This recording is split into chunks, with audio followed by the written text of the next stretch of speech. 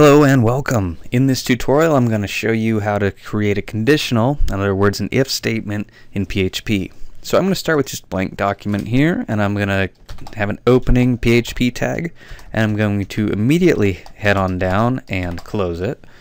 And I'm not going to put any uh, HTML constructs in this because I'm just trying to illustrate a concept. The first thing I'm going to do is I'm going to create a variable and I'm going to call that variable grade. And I'm going to assign it a value like 95 right, because I do my homework. Um, notice that there was no syntax for declaring the variable. I just indicate that I am declaring a variable by basically putting a dollar sign in front of a character. Right, so it's grade. Its type is an integer, although I did not explicitly indicate that. The idea that this is an integer means this is an integer. If you're confused about that, watch my last video. On to the control structures. So I am going to write if my condition is going to go inside some parentheses, and then I always do curly braces. These curly braces are optional if you only have one line that goes here. My condition is going to be if grade is greater than or equal to 90. Notice that might be a new symbol to you if you're new to programming. If you're not, it's always that symbol. Um, so if grade is greater than or equal to 90, and I'm also just going to ignore the whole world of pluses and minuses because essentially we don't need to go there for this example. And I'm going to say that if grade is greater than 90, which it is, I want to echo out A.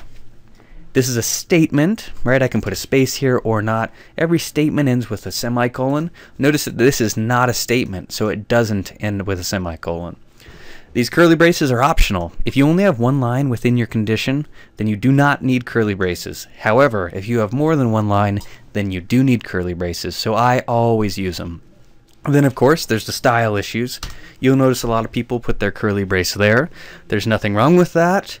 I just prefer them up there, right? And so that's how I do it. It doesn't matter at all. So I'm saying if grade is greater than 95, then we're going to get an A. Then I'm going to go down here and I'm going to make a mistake, but I'm going to fix it in a minute. I'm going to write another condition. If grade is greater than or equal to 80, then I'm going to echo out a B with a semicolon. I'm going to run this and let's see what it does. So I control S save heading over to my web browser. Oh, I was messing around earlier. And I get AB on the same line. All right, so one, I probably should have put a line break after the A. But the other thing that I'm noticing is, oh, it looks like I got an A and a B. How is that possible? Well, let's look at our code. So my grade is 95. So these if conditions get evaluated from top to bottom, left to right, just like you would read a book. I get here and I see that grade is greater than or equal to 90, and so it prints out an A.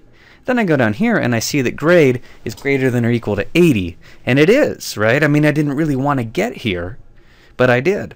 And so what, what the mistake I made is I made if independent if statements. Each statement or if statement can only have one if clause. And if you want related statements, I'm probably making this harder than it is. What I really want to do is an else if. Alright, this ensures that only one of these can be true. It's possible that none of them are true, but certainly not both of them. And if I do this, this is kind of the answer to some of my problems. Right, I head over here, I refresh, and now I'm only getting an A. So let's understand how this evaluates. Remember what I said from top to bottom. So it evaluates this, and this is a condition, and it's Boolean, and it's true. So we print out an A, and else if indicates, hey, if this was not true, then we're going to have a look at this. But in the case that this is true, I'm done, right? And I essentially skip down to the end of the block and it's all over with. And when I had it as a separate if, it was evaluating this, then it was evaluating this. So while that is kind of confusing, uh, you have to understand how it works. A real novice mistake is that sometimes people go down to the second condition here and they do an and. Say so and basically since there are no compound inequalities in programming, you have to say something like if the grade is greater than or equal to 80 and um, grade is less than or equal to 90, right? Because essentially that is what we're looking for here. It's a range of 10 percentage points. But I'm telling you, you don't need this part because you've already checked it here. It's implied that if you've made it this far into your if block, that you've already eliminated everything that's above 90. So I'm saying you don't need this. It's not wrong. It's just a waste of your time.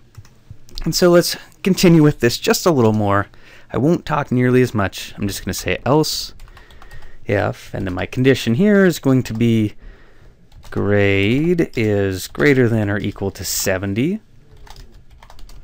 Notice I keep, I just put in the braces and the uh, parentheses whenever.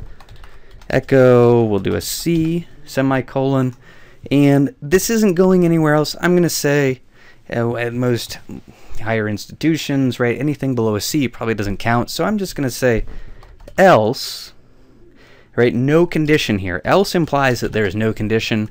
And if you get below 70%, I'm going to echo out fail. Right, sure, there's D's, there's F's, there's all kinds of other things out there, but what I'm saying in this example, lower than a C is just you're going to be retaking the course. And so let's talk about how this goes. Notice that I have two else ifs. I could have one else if, I could have two else ifs, I could have no else ifs. Right, and sometimes you don't. You could have as many as you wanted. Really, as long as you've got conditions to check, you can have as many else ifs if you want. You can only have one if, and this is essentially the beginning. And the else clause, you do not have to have an else clause. So it's kind of like the else ifs. But the deal with the else is you can only have one of them. Right? It's your catch all. And sometimes you have these, sometimes you don't. All right, and so this is going to work okay. Uh, I would think it's probably worth saving and running to make sure that I don't have any egregious errors staring me in the face. That's a good indication that I don't. Let's and the cool thing about writing code is you know where it's going to break if it's going to break. And so I like to test the seams a little bit, particularly if I'm not sure how this thing's going to work. So like 90, right? Is this going to evaluate correctly? Well, that didn't tell me much because nothing changed, but I think it worked. Let's try out a 70. All right, let's see if something bad happens, like we get an A. I refresh. I have a C. And then let's try something like 69, right? So just one below our cutoff point, and let's see if we get a fail. So I switch it on over to Firefox, refresh, and I get a fail. And at this point, I think everything's working. I mean, it's always fun to test things out. What if we assign it a string value, right? This is kind of a weird one, like harp, which doesn't make any sense at all, but okay. I save, I refresh, and I guess if, if you have completed a semester of school and your grade is a word, I assume that probably means that you fail. Uh, right? You think about, so this is a string at this point, and a string is implicitly getting converted into an integer or a double at this point. It's going to be zero. And so I guess that kind of works. At least it didn't crash. I like that. Anyways, that's if, else if, and an else, right? So you can have, you have to have one of these this is optional, but you can only have one, and you can have as many else ifs as you'd like. I'm going to try to pick up with this example and illustrate some more things.